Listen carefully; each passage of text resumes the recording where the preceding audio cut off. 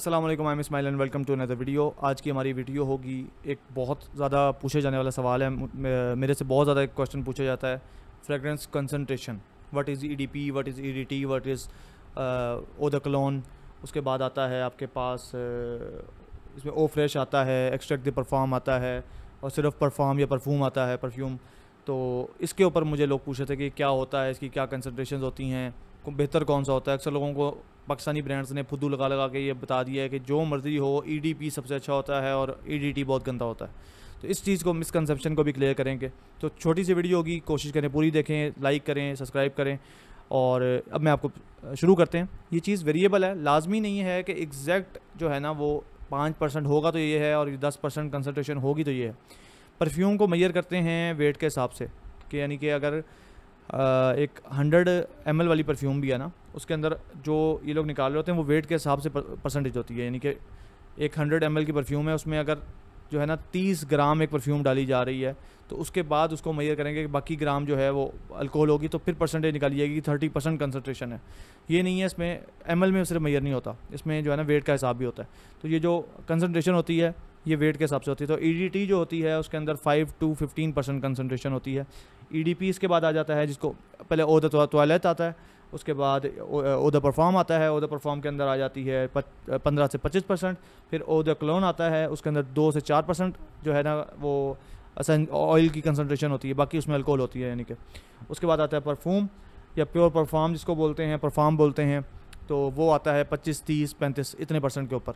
तो ला, ये पच्चीस भी हो सकता है, ये पैंतीस भी हो सकता है। आप देखें ना, पच्चीस वाला परफॉर्म और तकरीबन पच्चीस चौबीस वाला जो है ना ई e वो भी एक जैसे ही है। तो बस नाम वो चेंज कर लेते हैं। तो काफ़ी क्लोज कंसनट्रेशन होती हैं। उसके बाद आता है एक्सट्रैक्ट द परफॉर्म ये थोड़ा सा परफ्यूम या परफॉर्म से थोड़ा सा ऊपर होता है। इसमें पैंतीस से चालीस परसेंट पैंतालीस परसेंट तक भी कंसनट्रेशन पाई जाती है। इसके बाद आता है ओ फ्रेश ये काफ़ी कॉमन है।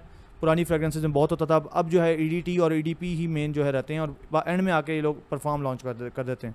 सबसे पहले ई डी अक्सर लॉन्च कर रही होती हैं बड़ी कंपनीज़ फिर ईडीपी लॉन्च करती हैं और फिर जो है अक्सर परफॉर्म लॉन्च कर देती हैं। तो जो ओ फ्रेश वगैरह है ओ फ्रेश हो गया और ओदा क्लोन हो गया, इसको तकरीबन ख़त्म ही कर दिया बहुत कम ब्रांड्स अब लॉन्च कर रहे हैं, क्योंकि लोग ना उसको लाइक ही नहीं करते कि यार ये बहुत सिंथेटिक फील आती है उसके अंदर। तो ओ फ्रेश में one to three percent essential oil होता है, बाकी जो है उसके अंदर अल्कोहल ही होता है। इसका फ़ायदा क्या होता है? नुकसान क्या होता है? वो आपको जल्दी से बता देता हूँ। फ़ायदा ये होता है हायर कंसनट्रेशन का कि इसकी लास्टिंग बढ़ जाती है। उसमें ऑयल ऑयल ज़्यादा है। जब आप स्प्रे करेंगे, वो ऑयल आपकी स्किन पे ज़रा थोड़ी देर रहेगा। और जो अल्कोहल होता है, वो उड़ाने के लिए होता है। तो अल्कोहल बढ़ाने का भी फ़ायदा हो सकता है। वो ये हो सकता है कि वो प्रोजेक्ट ज़्यादा करे। आप कहीं कमरे में घुसें और वो एकदम से पूरा कमरा जो है ना, वो खुशबू से भर जाए। तो वो अल्कोहल का काम होता है कि वो आपकी बॉडी से परफ्यूम को दूर फैलाता है प्रोजेक्ट करता है सेंट बबल आपके इर्द क्रिएट करता है। तो इसलिए लाजमी नहीं है कि ई e बेहतर है और ईडीटी गंदी है कंसर उसमें लास्टिंग में फ़र्क होगा लास्टिंग में ई e बेहतर होगी लेकिन लास्टिंग के अलावा अगर हम बात करें ओवरऑल परफ्यूम फैलने की तो वो ईडीटी में ज़्यादा होती है फिर ईडीटी और ई में कभी कभी नोट्स भी फ़र्क आते हैं जिस तरह डिओ सवाज का ईडीटी थोड़ा सा फ़र्क नोट्स में आता है ईडीपी फ़र्क नोट्स में आता है इस तरह और भी बहुत सारी परफ्यूम्स हैं जिनमें अच्छा बात हो रही थी हमारी ई और ईडीटी की और ओवरऑल कंसनट्रेशन की। कैमरा हो गया एकदम बंद। उम्मीद है कि वीडियो सेव होगी क्योंकि उसके एंड में मैं वाली वीडियो लगा दूँगा। सो so, हाँ मैं सारे टॉपिक को गुजर ही चुका था। बस वीडियो एंड ही कर रहा था लेकिन उसमें कैमरा बंद हो गया। मैं कैमरे को बार बार देख रहा था। कैमरा का नोटिफिकेशन आ रहा था ब्लिंक कर रहा था। मैंने कहा यार होने लगा बंद। तो इसमें मेरा ये ओपिनियन है कोई भी बाय करें आपको पसंद आता है बाय करें। दोनों के फ़ायदे और नुकसान हैं। ई का फ़ायदा भी हो सकता है ई का फ़ायदा भी हो सकता है। तो talk to in the next one bye